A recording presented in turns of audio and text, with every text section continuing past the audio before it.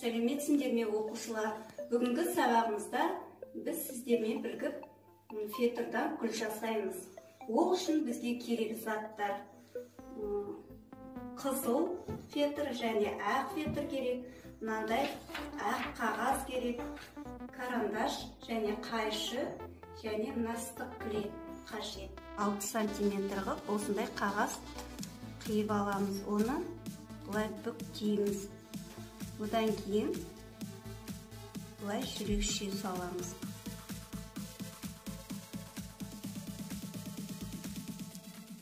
және осы жүрекшені қазір біз қиып аламыз осылай қиып аламыз содан кейін қиғаннан кейін міне осындай гүл шығады. Енді осыны аламыз да біз қатты картон қағаздың үстіне бастырып қиып аламыз. Үлгімізді фетрдің үстіне қойып карандашпен осылай жүргіземіз.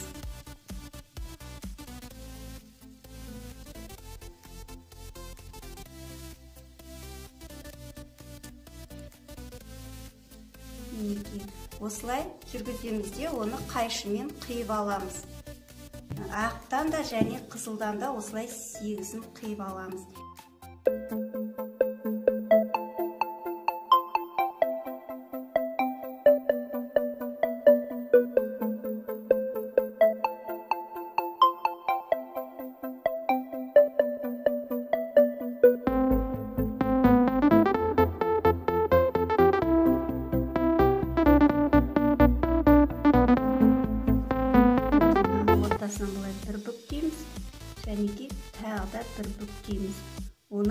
Арасына клей жағамыз ыстық клейді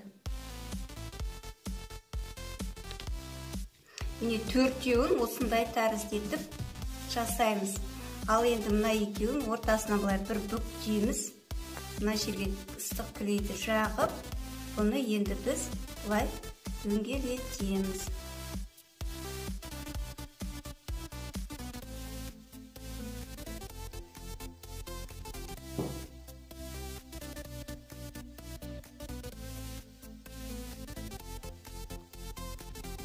Ортасынан бір бүктеп былайынан ыстық жағып аламыз және де мынаның ортасына былай қойып былай қиғашпен жабыстырамыз. Енді мына гүліміздің үстіне ыстық клейді былай жағамыз.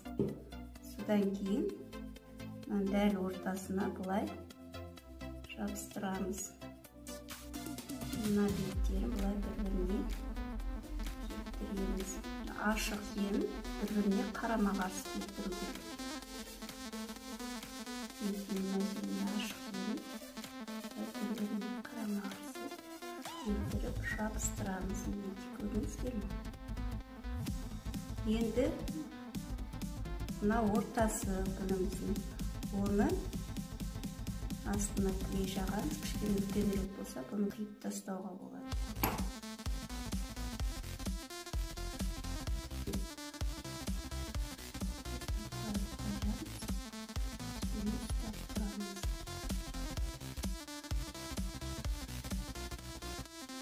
Содан кейін мына гүлдерге былай клей жағып ыстық клей былай жабыстырамыз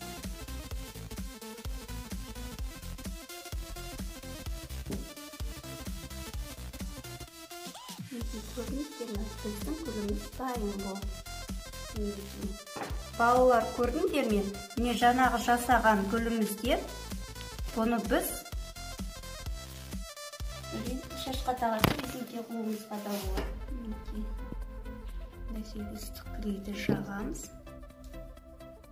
Басып. Қойып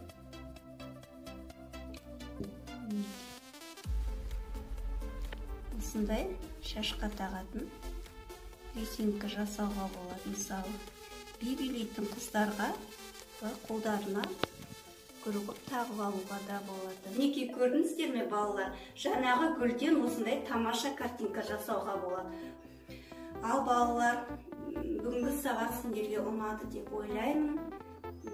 Қош сау болыңыздар.